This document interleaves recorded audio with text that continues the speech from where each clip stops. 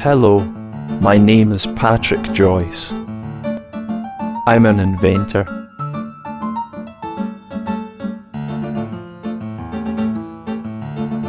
At the moment, to my knowledge, there is no way for an individual who is unable to move their arms or legs, for whatever reason, to drive their wheelchair using only their eyes.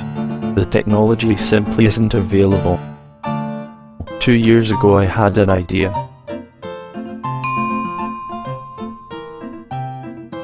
A combination of open source software and hardware, Eyedrivomatic gives users back their independence.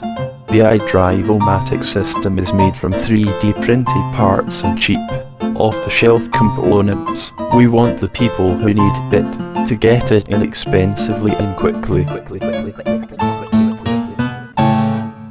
non-technical person will be able to build one themselves easily for under £100.